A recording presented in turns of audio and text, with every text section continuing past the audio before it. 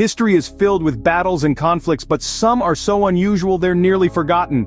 First up, the Anglo-Zanzibar War, a war so short it holds the record. It lasted just 38 minutes. Down under in Australia there was the Great Emu War of 1932. Soldiers against emus, and guess who won? The emus.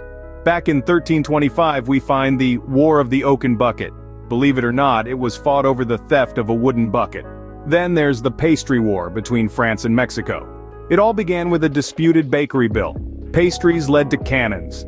Finally, in 1969 the soccer war kicked off over a soccer match between El Salvador and Honduras.